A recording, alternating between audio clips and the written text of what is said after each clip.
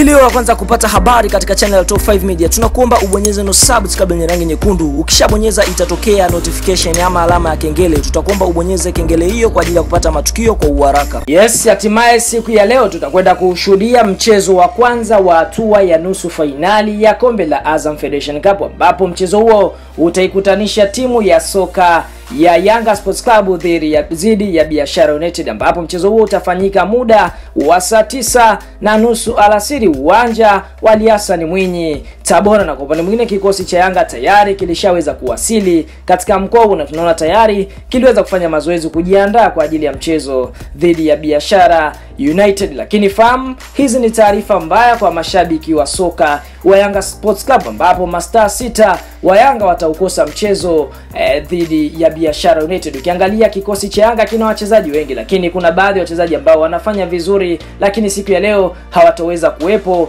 eh, katika mchezo wa hatua ya nusu fainali ya kombe la FA yani Azam, Azam Federation Cup. Wakati eh, kikosi cha Yanga kikitarajia kushuka uwanjani eh, katika uwanja wa Ali Hassan Mwinyi kucheza nusu fainali ya kombe la FA dhidi ya Biashara United, basi kitakosa nyota wake sita. Nyota hao ni kuna baadhi ya nyota ambao wamegawanyika katika makundi mawili. Kuna hawa ni kwa sababu ya majeraha na wengine ni masuala ya nidhamu. Tukianza na nyota wa kwanza ambaye ataukosa mchezo wa Yanga dhidi ya Biashara United siku ya leo ni Lamine Moro. Lamine Moro tunaona yeye anakumbwa na sakata la kuwa mtomvu wa nidhamu ndani ya kikosi cha Yanga, na siku ya leo eh, Lamine Moro ataukosa mchezo wa Yanga dhidi ya Biashara United, ambapo mchezaji huyu acheza nafasi ya beki wa katikati. Lakini ukiachana ishu ya mchezaji mwingine ni Michael Sarapong. Michael Sarapong huu ni mchezaji ambaye anacheza nafasi ya E, mshambuliaji ndani ya kikosi cha Yanga na yeye anakumwa na tatizo la utomvu wa nidhamu, na siku ya leo hatokuwepo sehemu ya kikosi cha Yanga ambacho kitacheza mchezo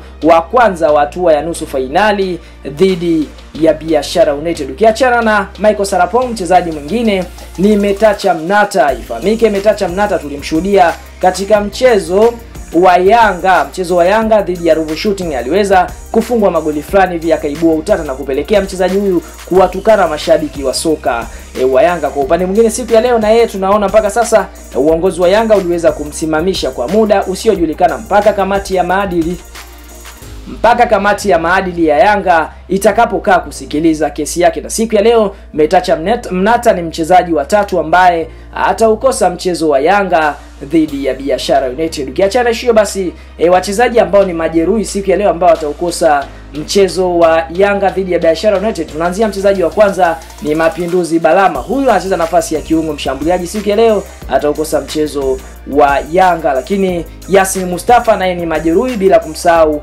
Abdallah Shaibu Ninja naye siku ya leo ataukosa mchezo wa Yanga dhidi ya Biashara United. Tukianzia hao ndio nyota sita ambao wataukosa mchezo wa Yanga dhidi ya Biashara United. Kuna Lamine Moro, kuna Michael Sarapong, kuna Metacha Mnata, kuna Mapinduzi Balama, kuna Yasin Mustafa, Abdallah Shaibu Ninja. Kwa upande mwingine, kwa mujibu wa ofisa uhamasishaji wa Yanga Anton Ugaza amesema kuwa e, Balama na Ninja maendeleo ni mazuri na siku si nyingi tutawashuhudia ndani ya kikosi e, cha Yanga katika michezo inayofuatia. Lakini kimbembe ni siku ya leo katika uwanja wa Ali Hassan Mwinyi e, kule katika mkoa wa Tabora ambapo ifahamike mchezo wa kwanza wa hatua ya nusu fainali ya kombe la Azam Federation Cup, na ifahamike mshindi wa hapo atakutana na mshindi wa kesho, ambapo kesho ni tarehe 26 ya mwezi wa sita mwaka 2021 Simba Sports Club atakuwa dimbani Majimaji Songea kucheza na Azam. Kwa hiyo kwa upande mwingine E, mambo ni mengi. Tunaona kikosi cha Yanga e, kinafanya vizuri, lakini siku ya leo kimekumbwa